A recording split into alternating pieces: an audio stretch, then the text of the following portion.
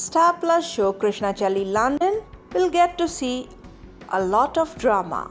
Dr. Veer and Krishna's love story to get start in Krishna Chali London. Star Plus show Krishna Chali London will see an interesting track wherein Dr. Veer will fall for Krishna. Star Plus show Krishna Chali London will slowly move towards the path of Dr. Veer and Krishna's love story. As per the ongoing plot, Dr. Veer and Krishna are concerned about Lalia's illness and have been trying to get her treated for cancer. Soon the two of them will be seen going to a medical camp along with Lalia for her treatment.